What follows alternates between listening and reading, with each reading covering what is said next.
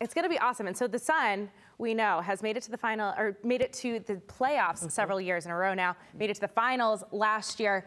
What's it going to take for them, Brendan, to take it home? Whew, well, it's a different looking team this year, right? They made some moves in the offseason. They still have a really strong core, though, right. inside. Mm-hmm. Brionna Jones, Alyssa Thomas, two All Stars. They retained both of those players. DeWanna Bonner, special player at the guard position. They brought in Tiffany Hayes, who played her college ball at UConn, has dealt with some injuries, but if yeah. she stays healthy, she gives them a dynamic guard. I think she's underrated. Mm. I think people were not are not talking about her as much as they need to be because she is she's she's healthy. She hopes, which and is very important, obviously. You could argue before her injuries, the best two-way guard going in the WNBA. Mm. So 10 years in Atlanta, maybe time mm-hmm. for a change because Atlanta's going young and adds to a, a veteran, win-ready team, as you guys talk. Yeah, and one yeah. of the biggest changes that were made in the offseason. Curt Miller, who had been with this mm. team for the last few seasons, now they hire Stephanie White as a head coach. Obviously, we talk about them losing some big players as well.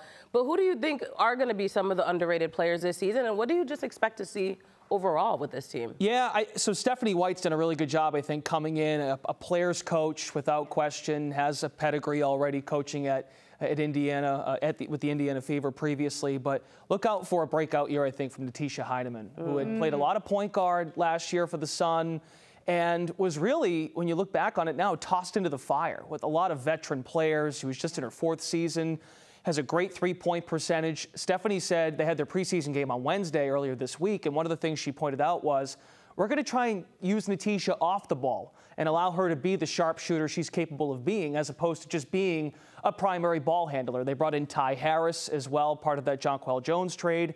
Beck Allen, healthy, another sharpshooter. So I think we're going to see a lot of inside outside basketball mm. and players like Hiedeman, DiJonai Carrington, who was a great college player at Baylor and Stanford, mm-hmm. Beck Allen. They're going to have some sharpshooters on the outside. So inside outside, I think, is the dynamic you're going to see a lot of this year. I love that, and I love that Stephanie has the perspective of a player, a coach, like what, ha- an analyst, like what hasn't she mm. done? Coach, well, from our standpoint, we were like, "Ooh, she's a TV person." Yeah.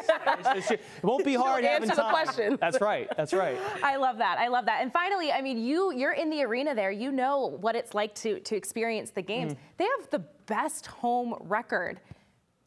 Is that because they're just comfortable, or do you think the fans have something to do with it? Well, well, the fans are great, and they've won 80% of their home games in the last five years. They had, Wild. The, they had the bubble season, of course, but since they've been at home their last five years, they've won 80% of their home games. Mm-hmm. It's not the easiest place to get to it, it, for right. a visiting player. But the energy of Mohegan Sun is unreal. I went yeah. to a game last season. It, yeah. the, the, fans are consistent, even though it's in a casino. Yeah people make a point to show out, which is a big deal. Even though it's in a casino or because it's in a casino? Both. You know? Why not both? Go both ways. Just ask the Vegas Aces. They like having their, their games right. in the casino too. So, exactly. Um, yeah, I mean, look, and the fans are great. Storrs down the road has set a great uh, environment for college basketball mm-hmm. in the state of Connecticut. The UConn men just winning the national title. There's a great momentum. And there's some, of course, the obvious one is great players have come through UConn, but also in this league, Connecticut has set a standard to be a contender. And uh, no matter what sport you're talking, if you prioritize trying to win and put a great product on the floor,